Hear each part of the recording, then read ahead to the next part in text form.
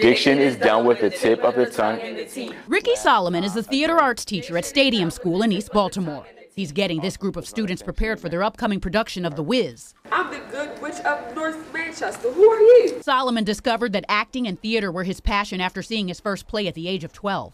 To see how like this message um, was captivating people and um, really impacting them. So I was like, hey, I want to do this. You know, I want to be able to tell stories that can give a message that can help lives. Solomon enjoys theater so much, he started his own nonprofit, and through his Dreams to Reality program, he mentors students in theater outside of the classroom.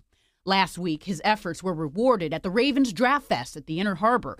That's where he learned he won the Ravens Touchdown for Teachers Award recognition for his hard work, and $4,000 for his school. It was kind of funny the whole time I was on stage. I was like, you know, Ricky, smile and clap, no, smile and clap. Even if you don't win, smile and clap.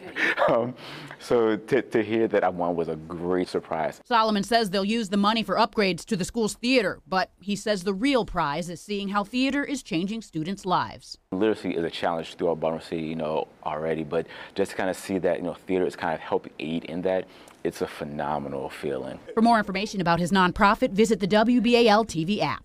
Theo Hayes, WBAL TV 11 News.